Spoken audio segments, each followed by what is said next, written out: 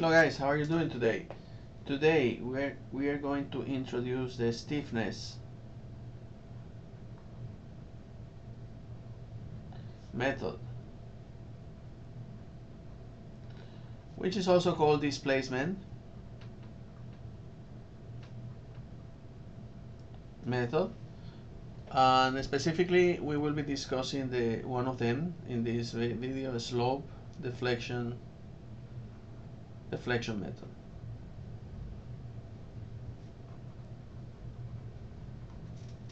that's what we are covering today.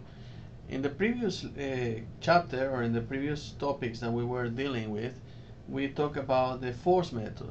And the force method uses compatibility the force method uses compatibility deformation equations in order to find the redundant forces in the system. The method of the displacement is the opposite of this, is the inverse of this. For the method of the displacement,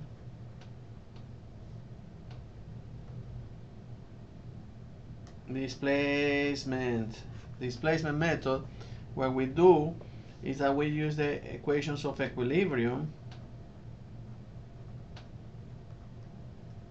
of the structure in order to find the redundant in this case was redundant forces and moments.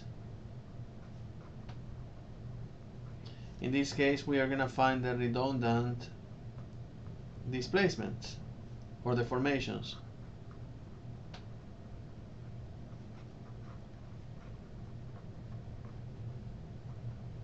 and then all the forces are going to be calculated at moments in terms of these redundant deformation. But this is just a purely theoretically background of what this is done and how it's done. This method was originally uh, it was originally studied, let's say, by Heinrich Manderla and I know you're gonna know you're gonna uh, this one you're gonna know who the person is Otto Mohr because he's the the Mohr circle remember? This was the guy. And they were using this for uh, studying secondary stresses especially in trusses but it was reinvented or reimagined, let's say, by George Maney in 1915. let's say 1915ish, because I'm not so sure about uh, this 1915. And for with applications to beams static indeterminate beams and statically indeterminate frames. That's what happened here. So this uh, this method has several limitations, but this is very very nice method. It's, uh, it takes into account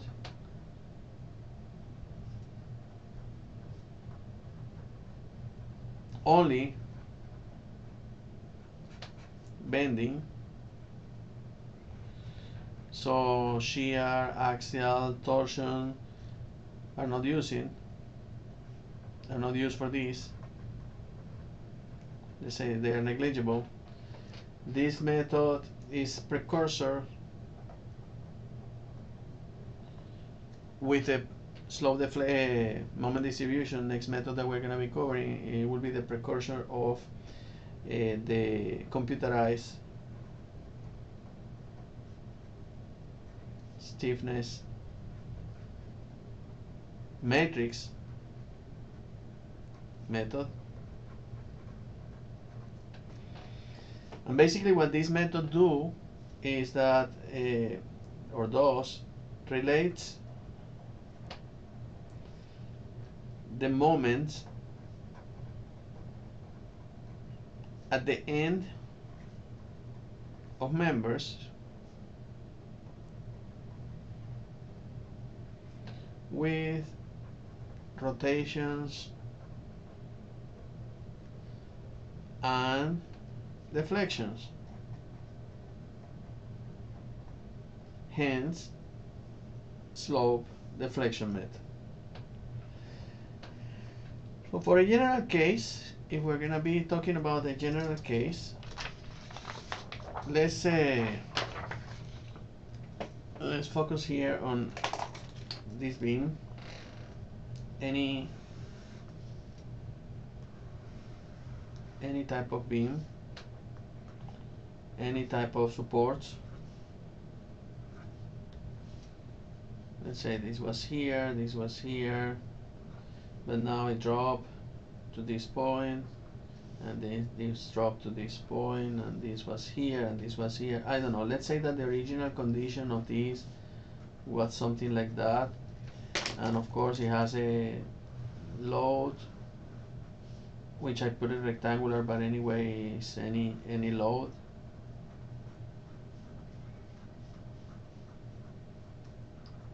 That changes in terms of x. And we're gonna have forces and we're gonna have any type of forces applied there forces moments. We're gonna have settlements in the supports. That's what we have that's what I put these supports here and the deflected shape of something like this of course this is super super super exaggerated but it will be something like this and then here it will go wakata uh, and then here it will go like this and then it will go like that. I don't know something like that could be the deflected shape of this element and if we study this part in particular, let's say that this is a, I don't know, A and this is B, and I don't care about the rest. But if you just select this little portion of that beam over there, and we put the load on top of that,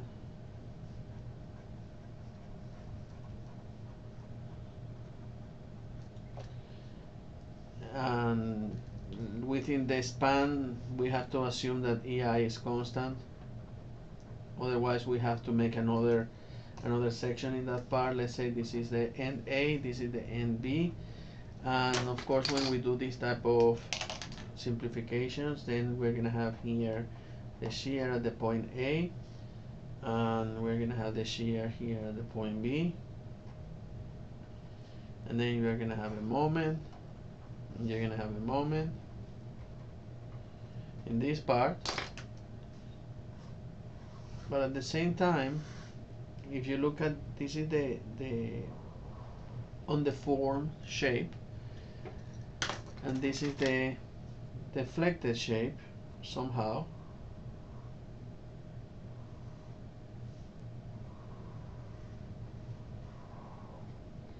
The deflected shape here these moments and these forces can be expressed in terms of this rotation. Rotation at the point A. Or this rotation.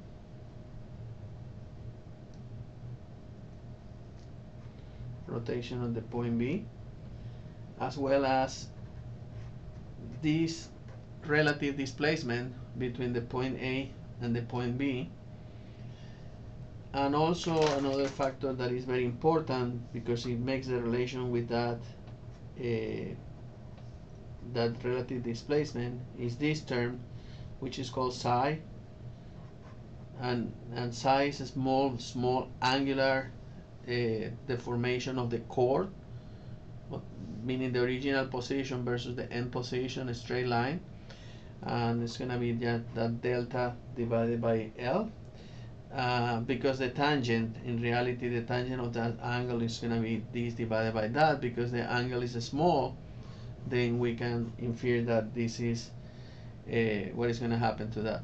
So I don't want to I don't want to go in detail because now we have to start doing summation of moments, compatibility equations, and after like two or three or four pages of derivations, then these guys came with some formulas in order to Uh, relate all of these deformations and deflections over there. and the formulas are as follow. There are only three formulas, so there are not that many. And with those formulas, we can basically solve any case.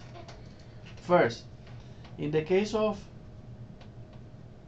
continuous frames, a continuous spans, meaning if you have something like this, this is considered continuous. This is considered continuous. And this is the point A and this is the point B, or this is the point A and this is the point B here.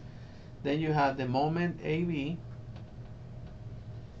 the moment at this end is going to be equal to 2EI divided by L multiplied by 2 times rotation at A plus rotation at B minus 3 times that angular deformation of that chord deformation psi plus the fixed end moment at of AB. And the moment BA, it will be 2EI over L times the formation of A plus 2 times the formation of B minus 3 times the psi plus the fixed end moment uh, BA. This is for the case of continuous moment, places where you have moment in both ends. But you can have also places where you have one uh, one of the ends uh, is a pin and the other end is continuous. So basically I'm talking about this span here. And if you talk about this span, and this is A and this is B, the moment at AB is zero because this is a, a pin, but the moment BA, then that will be 3 times EI over L. This is a modified, this is what is called a modified equation for this situation times the rotation at B minus psi plus the fixed end moment BA minus the fixed end moment AB divided by 2. So these two are the equations, the normal equation, and this is the modified equation. The fixed end moments, the fixed end moments are those moments for the particular type of loading condition. Uh, I'm looking for as the, the this will behave is, is just fix and fix like that. And you can find that in the back cover of basically every single book. Uh, structural analysis book. Those are the fixed moments here. This is what it refers to. Uh, so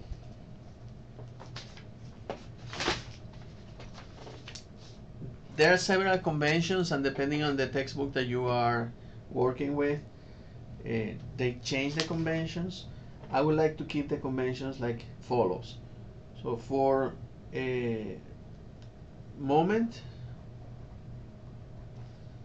and rotation everything that is counterclockwise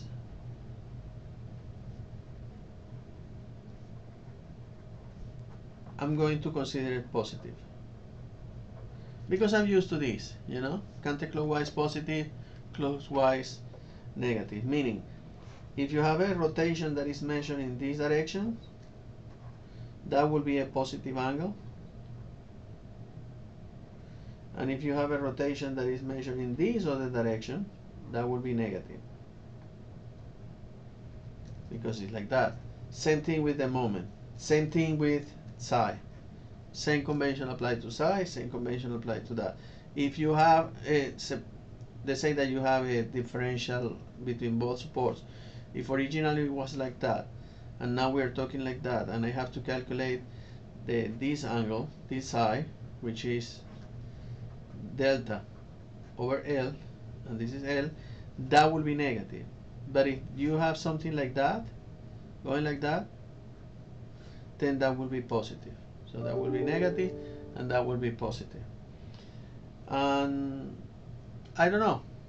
So these are the basic conventions and I know this is very abstract and very general, but I don't want to go into the details. I don't want to do a tons of derivations that really I don't think you are interested. I'm not interested. I, I want to use the tools and I'm an academician, so I guess that you are less interested than I am.